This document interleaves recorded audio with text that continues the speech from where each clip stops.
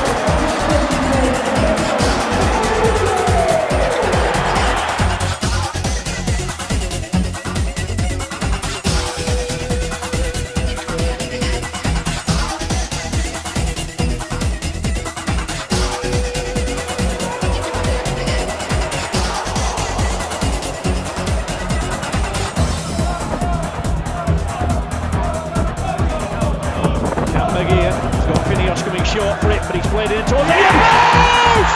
And Lindsay, I think's got the touch!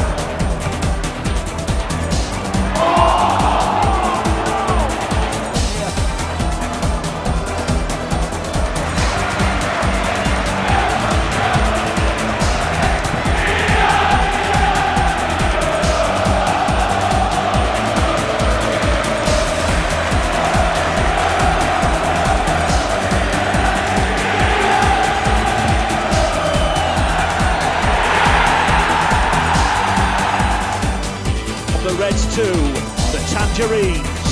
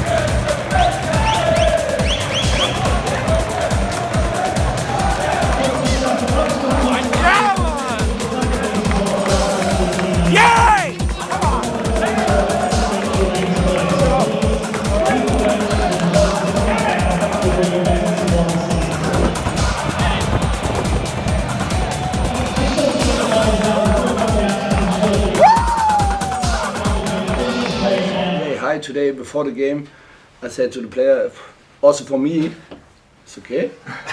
uh, also for me, but uh, um, I said it's okay for for this situation. But uh, when start the game, this is a normal game. We we need to play with the best performance that we can play today, and uh, we deserve to win this game. Uh, we have a lot of chances. I'm very happy about uh, the performance today, and I'm proud that my team can can show this performance uh, in in a not easy um, situation. Few. We had loads of corners actually, so if I didn't score, I think I'd have gotten a wee kick a punch in the dressing room after the game. No, perfect Saturday. Um, couldn't believe it actually when I seen it. So no, it's, it's still the job's not done yet. So it gave us confidence. Obviously, I don't think we've won four in the spin all season, yeah. so that's another positive. And uh, Ja, wo bekommt sie nu. Eh, det är Brazil?